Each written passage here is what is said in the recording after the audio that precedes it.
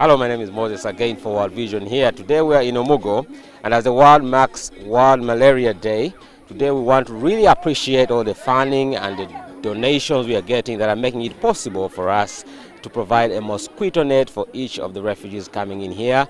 This is all being provided by the UNHCR, who is our partner in the distribution of quality items. So the, the, the, ratio is is one to two. So for two refugees, two, a family size of two, they get one mosquito net. A family size of three, they get two mosquito net. A family size of one gets one mosquito net. So we are making sure that none of these people uh, will sleep without a mosquito net. So we are doing this. We've been doing this uh, for the last five, six months. So every refugee coming into Uganda, crossing in here, and as they're going to be settling into their plots of land, we make sure that they get a mosquito net. So we really appreciate all the support and funding you're, you're, giving to make sure that mothers and children and fathers that have fled South Sudan and come here have a mosquito net where they can sleep. And we're really so grateful to see that we are combating malaria because of these mosquito nets. Thank you so much, and may the Lord bless you.